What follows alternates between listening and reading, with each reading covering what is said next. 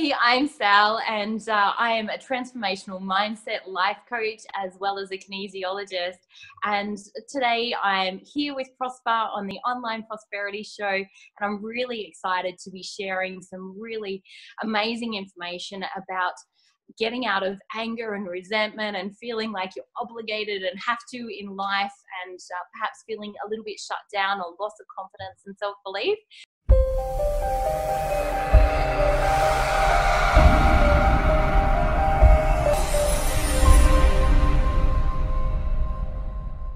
Now, welcome to yet another exciting episode of the Online Prosperity Show. And today we've got none other than Sally. Sally, how are you doing today?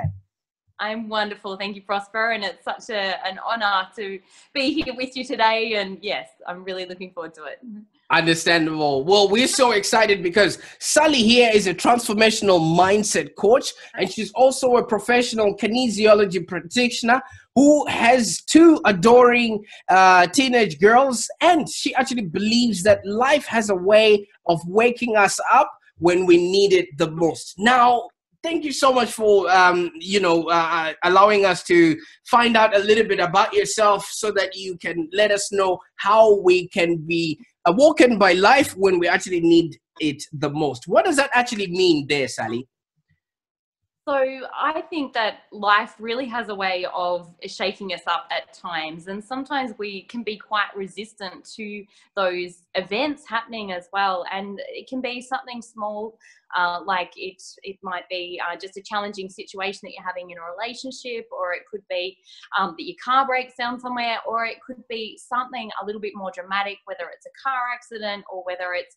uh, loss of a job or breakdown of a relationship or um, so many different experiences in life I think make us really stop and evaluate where we're actually at and also what's most important to us as well. So that's where I think, you know, life comes in and sometimes slaps us around a little bit and certainly did to me because I wasn't living my truth um, or being authentic in who I was as a person. So had some big lessons to learn. Great stuff. Okay, so I see you brought us flowers today. You're looking absolutely fantastic, but it wasn't always like that, right? No, no, absolutely not. It's uh, it was really quite challenging. Um, basically, my life lessons were back in uh, 2008, and I still continue. It's not that I don't get the life lessons now, I, uh, but back in 2008, I had two significant events that really shook me up and uh, really pulled away the foundations of how I'd been living my life. And uh, that was my marriage breaking down. And shortly after, my mum actually passed away. And with that experience, um, I realized I had no clue at all how to love myself. And uh, I really was very critical and very negative within myself. And I had my two beautiful girls who were age six and eight at the time. And it was really challenging because uh, I knew desperately inside who I wanted to be as a mum, and yet I knew that I wasn't actually showing up that way. And so when these experiences happened, it was like, well, Sal, if you're going to pick yourself up and you're going to keep going, you're going to have to figure out how to love yourself and how to be able to move forward and really create this life that you're wanting to for your girls. So uh, that was what I did. I started, yeah, just getting out and about, reading a lot of positive books and uh, getting to lots of Tony Robbins events and lots of you know any positivity uh, kind of things and, and actually retrained uh, and started in my path as a kinesiologist as well so that was all brand new and uh, I started that in 2009 after those big life events had happened because I knew that I had to find a different way forward because what I've been currently doing was not working. So, wow. Okay. So to say that life gave you a gentle slap is totally an understatement. Um, how how have these events now made you examine every part of your life? Uh, I think when we have something significant like that, like a marriage breakdown or, you know, the loss of a loved one, and, and my mum and I were particularly close, she was like a sister and a friend and a mum all rolled into one, it really made me evaluate. I think, particularly like when we lose a mum, um, it makes you really evaluate who well for me like who I want to be as a mum. Um, and she was a wonderful role model in so many ways. Um, and both her and my dad had been wonderfully successful in business. as well as being um, really great in terms of being there to support us and to uh, like on an emotional level as well, which is not always the case. Um, so I had a very, very blessed childhood, um, but it really made me really re-examine things. And then with the breakdown of my marriage, I knew I'd been living this false life. It was, I was trying to be someone who I really wasn't. And I was so caught in the pleaser behaviors because I was desperate for love. So I was doing all the running around. I was trying to be the perfect housewife. And yet I was just miserable and so empty and lost and alone inside. And so it really, when all that had been stripped away, it was like, a very scary clean slate. it was like there was nothing there. So it was like, made me look at, well, if I had to start over again, which was essentially what I was doing, what do I now choose to actually put in and paint the new picture that I'm going to create for myself? So that was what I did, and and it really made me tap into my heart and my soul and uh, my core authentic self. It was like I pulled away all the layers, which was really scary and left me feeling really raw and vulnerable. And um, stepping into my role as a kinesiologist, like I don't know if you guys know where Wagga is, but I am seriously like in a very outback kind of central rural community that's based on footy and beer. so to bring in natural therapies like kinesiology was just so unheard of like seven, eight years ago. There was um, at the time one other lady that I was aware of that was practicing, um, and her goal in life was to be as eccentric as possible. And she's so beautiful, like she's my whole reason that I got into kinesiology.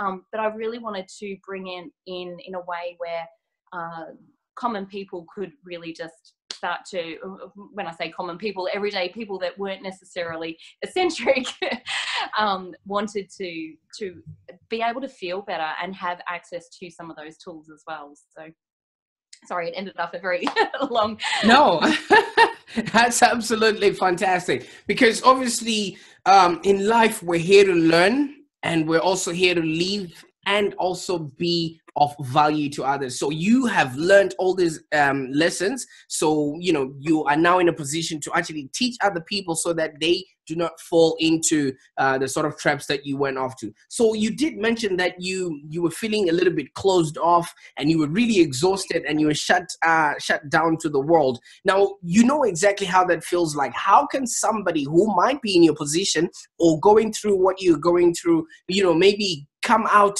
a winner like you are, smiling and looking all nice with flowers all around you? What what what did you do in order to um, you know find that balance? Yeah, I think that's a really, really great question, Prosper, and it certainly didn't happen overnight. So I think that's key, um, and uh, it's something that, yeah, we just spoke about before in terms of instant gratification or looking for the magic bullet or looking for the quick fix. My life has literally evolved over the last nine years because of the hard work and dedication and commitment to growth and becoming a better person. Um, but that starts with a vision. So you first of all, it's it is getting clear on what is that end picture for yourself. Um, in and when I say end picture, it continues to evolve as well. So a couple of years ago, I actually reached that vision. I wanted to um, hit a six-figure income. I wanted to wake up and drink green smoothies and be doing yoga and going for long runs. And a couple of years ago, I woke up on my 38th birthday. Literally, I went, "Oh my goodness!" This is like the best birthday present ever because I realized that I'd finally become the person that I'd always dreamed that I wanted to be. And it was just, there was nothing in my day that I would have changed. I was still seeing kinesiology clients, which I loved and I'm super passionate about, um, and doing all of those things. So, first of all, is create the vision Second is why. Why do you want that? Why is that super, super important to you? Um, what will it cost you if you don't start to step forward and create these changes? So if you stay stuck for another two to five years, you know, what is that going to cost you mentally, emotionally, spiritually, uh, physically? Like all of that stress creates so much um, pain for your physical well-being as well. Um, and then after you're clear on that, start to write down a bit of a, um, a brainstorm around, um, and, and it's making sure that you don't kind of limit things with, well, I haven't got the time to do that, or I haven't got the money to do that, or any of those things. It really is creating this um, just yes and yes and yes and and then what we actually do afterwards. So you just create this big list all the things that you could do to actually start to create that vision. And then what you actually want to do is use the 80 20 principle which is um, I'm sure you guys have probably heard that before if you're part of um, Prosperous Thrive it's the 80 20 you know 20% gets you 80% of the results so 20% of what we do every single day will actually be the key things that actually drive you forward in a really really powerful way as well a lot of the time we kind of get lost in the to-do list or thinking that we've got to check off all these things without actually realizing that actually there's probably a couple of key things that will build a really solid foundation for you. Now, for me, that was getting positive audio in every single day. I literally had to drown out my negative thoughts. So I would plug into whatever. And I thought, you know, a couple of weeks, you know, I'd be all set. No, it took me six months. I literally, it was shocked me how long it took me to really start to rewire the way that I thought about things. And it was funny because six months later things would happen and I'd I'd almost go back to the old thinking and then something from one of the audios that I would have listened to just kicked in. It's like, no, I've got to look at this differently. Okay, how can I do that? So that was one of my positive things. Um, exercising, taking really great care of myself physically was another thing that was absolutely key in the foundation to really getting myself back on track and starting to nurture and love myself, not from a place of I'm ugly or I'm fat or I need to do this because I'm overweight or anything like that. It was a pure what do I need to nurture myself and to fill my bucket up and to feel a sense of joy. And a lot of people have trouble with doing those things simply because there's a feeling of I don't want to be selfish, or particularly if we've got kids, you know, there can be the feeling of guilt, you know, I don't want to take time out or I should be spending time with the kids. And my philosophy is, you know, how do you want to be role modeling what you're giving your kids permission to subconsciously. So when they become parents, do you want them to think that they've got to be a martyr and just absolutely run themselves into the ground? Or do you want them to know that they can take time out for them? And when they feel fantastic, they can be the best parent to their kids as well. So that's kind of the way that I overcome some of that guilt and some of those emotions as well. So, um, but yeah, brainstorm, pick out your top two to three, and then start to implement and action those. Great. If somebody sees you today, they might just start thinking or believing you are the luckiest woman ever. All right. And or if not, you hide it too well. Now you have managed to, um, you know, create a vision for your life. You've managed uh, to find your why and succumb your limitation. And you did at some point find um, wonderful men in your life, and etc. etc. Is this is this it, or is there more that we can expect from you? Oh no, there's way more prosper.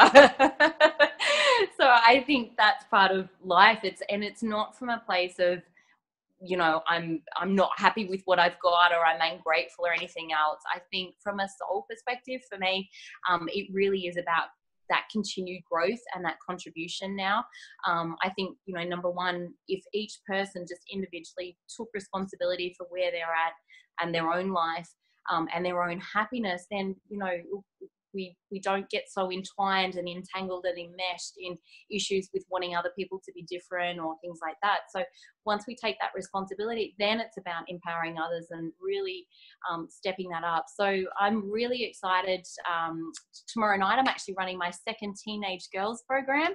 Uh, so i ran one uh, in Narrandera a couple of weeks ago um, where we had 90 girls attend and that was just fabulous and it's all about giving that sense of confidence um, and giving them the emotional tools so that they know that they don't have to um, stay with their negative thinking and, and be stuck uh, like I was. So basically, I wrote the course uh, from the perspective of it's everything that I wish that I knew when I was 13, but I learned when I was 32. so it's like giving them a little head start. And I'm excited for my girls, they're 14 and 16. Um, so for them to, to be able to access these tools and have those tools as well now at their age i just think that's incredibly powerful um, to be able to to continue changing your life and um, and then it's it's just a natural given i think you know when we've got ourselves back on track you know what is it that we can do then to to help and inspire the world um, to, to step into their own vision, whatever that is for them. And each person's got their own individual journey around that. So um, for me personally, like my big, really big vision is definitely taking the Teenage Girls program globally. Um, and initially, definitely Australia wide though. So uh, as I start to roll out more and more programs, I'll be um, traveling to regional centres in Australia and uh, I'm in the process of building an online um, membership site as well that the girls can tap into as an additional resource um, for a really nominal fee each month as well, where um, they'll be able to do it either with or without attending the actual on um, live event as well, which I think will be really helpful for girls that are perhaps a little bit more remote and can't get to a uh, a seminar, which will be great. So. Great stuff. So obviously you're teaching from a position of experience. You're teaching from a position of being a mother too. So this would definitely uh, coincide with the teenage girls that you are uh, teaching. How important is it for girls these days to actually have a role model? Because you did mention that the people that you're helping are in the age group of like 13 and upwards. And um, you had to go all of these through all of these troubles and had to learn at 32 how much of a difference would what you're teaching them make in their lives if they learn these things early? Oh, I just think it, it changes everything, Prosper. It really does. Um, from right down from the relationships that we attract and allow ourselves to, um, when I say allow ourselves to have, the way that we actually allow ourselves to be treated as well. Um, when you have self love, when you have that confidence, you know, you know when things aren't okay, or you know when things, um, you know, you can say no you've got the confidence to say no and uh, to be able to really build a life like i said that you love you can fail and pick yourself up and keep going so builds so much resilience, so much inner strength and inner confidence. And I think when you get to that point where it's just like you've built that self belief and that confidence through doing some smaller things first. And I quite often use like a bit of an analogy around running. So um, when I started to get fit, I my only goal was to run two kilometers, and I nailed that. And then it was like, okay, well maybe I can go for five. And so then I did the five, and then I did the ten, and then I did the twenty-two, and then went on to do triathlons. And triathlons were never in the vision for the 2ks and it just it goes to show you know how we can grow and evolve and how our dreams uh, grow and evolve with us as well. And the more that we give ourselves permission to step into that space of self-love i think you know we give from a place of fulfillment and contentment which only energizes us as opposed to giving out of have to, need to, should, obligation, and living a life of anger and resentment. And to be honest, that was where I lived a lot of my life because I was in that pleaser. You know, I have to give so that people will like me or love me. Whereas now it's it's I get to give um, because it's just who I am and because I feel so great. So it's self love. I think it it really um, builds such a solid foundation for um, not only what we'll accept in our life, but also what we can attract and what we can, um, yeah, go on to, to create for ourselves and that self confidence. So. Absolutely. And I can tell you're exuding all that confidence in the way you present yourself. And you're also confident in your, um, you know, um, achievements because uh, at some point I heard you were one of Scott Harris' top UC Pro accredited coaches, right? yes, I am. Great stuff. Congratulations on that. Now, how do you constantly um, you know update your knowledge because we're moving um, like you say it's always a moving target and you know the people that we're dealing with they're being subjected to new influences through technology and stuff like that how are you also staying on top of your um, you know knowledge and life experiences so that you can help your clients and inspire them to have self-love yeah that's a great question prosper and it's something that i'm truly passionate about and i definitely uh, credit to so much um, of my uh, my success as well moving forward is investing in myself. Uh, so I work with a wonderful business coach, uh, and I've to date invested over 150,000 in my own uh, knowledge, in courses, in books, uh, in getting the training that I need to be able to support and help people um, in a really, really great way. So, as a single mum, it was definitely a significant stretch, and yet I knew that it was the only way forward. Uh, so, I have done like a lot of uh, Tony Robbins courses, definitely um, like you mentioned, um, being a UC Pro accredited coach with Scott Harris, and he's a dear friend and mentor. Uh, so I, I, feel incredibly blessed around that. Uh, and the other thing that I do as well is really just checking with my audience. So quite often I will um, send out personal messages and just check in with them. Hey, what are you challenged? You know, what do you think are, uh, women are most challenged with these days? Um, what do you think that teenagers are challenged with? And really get some feedback and response. I think it's so important to be communicating uh, with your audience to find out what it is that they need so that we can figure out a way together, you know, how to best support them um, to be able to move forward as well. So I hope that answers your question.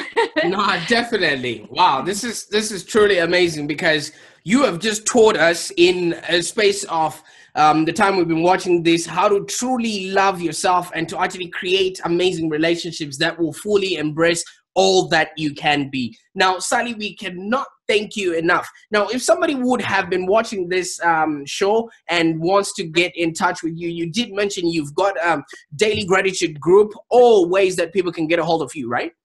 Absolutely. Yeah. So I really encouraged uh, the Daily Gratitude Group is a wonderful uh, and complimentary way of really um, starting to, I guess, have a, a taste of what I'm about and experience.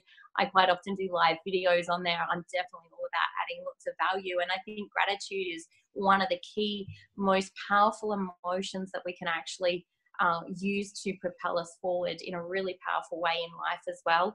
Uh, when we have um, when when we have gratitude for what we've already got what we've already got is enough and it just attracts more and more of the really great stuff into our life. So yeah people are more than welcome uh, to join um, me there or to contact me uh, via my website which is just sallyholden.com.au um, or definitely um, reach out on facebook. I'm more than happy to, to have a conversation and i do have uh, some high level uh, personal coaching clients as well uh, that yeah so if if you're looking to really invest in yourself and move forward, you know that you've got some big changes uh, to make in your life, I think definitely investing. Um, and, and it, it was a huge fear of mine uh, to invest that money, and a lot of guilt and things like that came up. And yet, I know had I personally invested that in something else, whether that was stocks or shares, there's no way that I would be the quarter of a person that I am, but also even on a financial level as well. I've been able to leverage that in some very powerful ways as well. So, uh, for me personally, investing in myself has been the single most important investment that I've ever made in my life. So, yeah. Understandable. Well, it does show that you did put in a lot of work, and whoever was watching, I hope they have been uplifted and they've been inspired and also empowered. I cannot thank you enough, uh, Sally, for you know taking your time off your busy schedule uh, to spend some time with us today. Thank you so much, Prosper. It's really been such a privilege and honor to be with you, and I've really enjoyed our time together as well. So, thank you. Understandable. Now, if you've been watching this and you're wondering how you can actually get yourself out of, you know, the self-doubt or whatever you might be going through, Sally is inviting you to actually start loving yourself and start creating amazing relationships that will fully embrace all that you can be. And if you have really enjoyed uh, what we've got um, here with Sally, why not join her daily inspiration group or daily gratitude group? And uh, I will put all the links in the bottom there. Now, if you haven't also subscribed to this channel, make sure you do so that you can start having a life um, that's full of abundance and you can actually start enjoying yourself. Sally, thank you so much once again. And hopefully, we um, have people coming in to join your daily gratitude group. Wonderful. Thank you so much, Prosper. You have a great day. great stuff. Thank you so much.